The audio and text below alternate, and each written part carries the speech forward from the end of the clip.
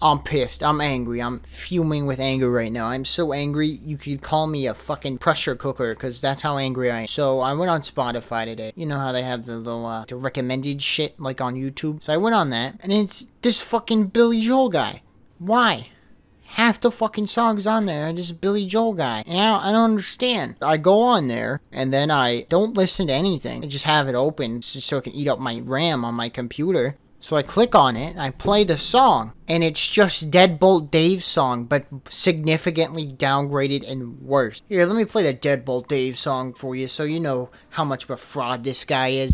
Fortnite, Fortnite, please let me play Fortnite, Fortnite, Fortnite, please get off of the Xbox, Fortnite, Fortnite, please let me play Fortnite. This fucking guy has the audacity to rip off Deadbolt Dave and not even credit Deadbolt Dave. I am fucking pissed. He is such a fraud. He ripped off Deadbolt Dave and he didn't fucking credit him. Oh shit. Alright, I'm back. I just uh, dropped my uh, microphone on the floor. So yeah, in conclusion, can Spotify please stop recommending me shit I don't listen to? I don't listen to this motherfucker at all.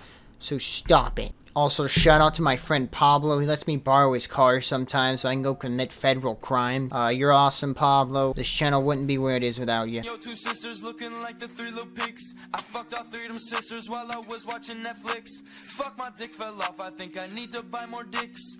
Women got no rights. I gotta teach that dog more tricks. Had a house on Minecraft and some creepers creep that shit. I was kissing your little brother. Dad walked in like shit. Who's your little brother? His name is.